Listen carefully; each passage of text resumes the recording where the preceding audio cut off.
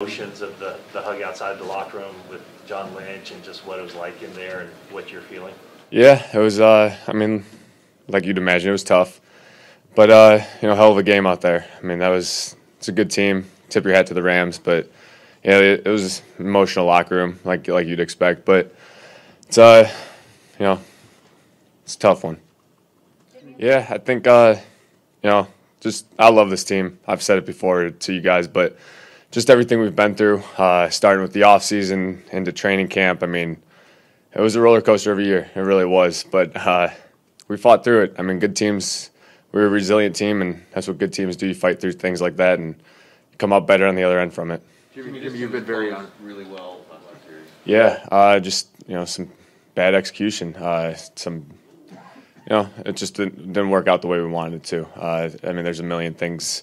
I won't get into all of them, but uh, yeah, it was just that's a tough way to end it. You know, especially just the way we battled that whole game. It was you know we knew it was going to be a dogfight. It always is against these guys, and you know it's a tough one. You've been, you've been very honest. Uh, I mean, they, they hit pretty hard in the locker room. I think uh, these next couple days they'll really start to settle in a little bit. You know, emotions are high after a game, win or loss, and it's just uh, it's one of those things you got to be you know glad it happened. Just you know smile from it and think about the good things. Uh, you know, we'll see what happens in these next couple days, weeks, whatever. But you know, I love this team. Just the the fight and the battle in this team throughout the entire year has been really impressive, and I love those guys. Uh, it's tough. It's tough. It's uh, probably a little different than most of them. Just how much we put into this year. You know, guys. Uh, I mean, since the last time we played the Rams, the the injury list that guys have played through during the playoffs this, this run, it's it's insane. And I'm sure every team's going through it, but you just when you know when it's your team and you're in it with them, you see it firsthand. Just guys battling through stuff. Trent Williams, Elijah Mitchell, and the list goes. Deebo, the list goes on and on. It's it's impressive what you know what we accomplished, and you know, obviously it came up short, but it was it was a fun year. Yeah, they uh, they had a couple new things, new uh, new tweaks in the in the run game. Uh, coverages were a little different too, but I mean, when you play a team for the third time, you got to expect something like that, and it, it, worked pretty well for him.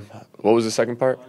The decision to punt on fourth and two. How do you feel about that? Uh, that's that's not my decision to make. You know, whatever whatever Kyle decides, it's, it's his, his choice. Taking clock. This is your last year, and you go through. How did you just manage that day to day and week to week?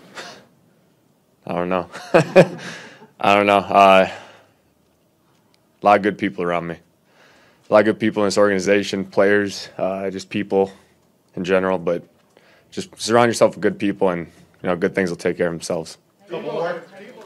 It's very unique. Uh, I'm sure every team, you know, kind of says that a little bit, but when you meet these guys and, and get to know them, love them like brothers, it's uh, it's a great group. It's a great group. Love being with them every day, battling, fighting, going to war with these guys. It was it was a fun year. Deebo had a couple of Today?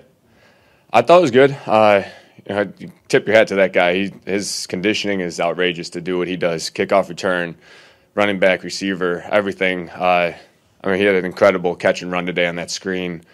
I thought he played his ass off. He has all all playoffs all season. Just he's one of those guys I love to have in my foxhole. Based off the last three wins, kind of really exemplify that how you guys pulled it out. Mean, nobody was really necessarily. yeah, I mean that's kind of it's just uh that's kind of our year in a nutshell. You know, we were three and five at one point. People wrote us off, uh, and we just kept fighting. That's what good teams do. That's what tight brothers do, and you know, I got no regrets from this year. Thanks, guys.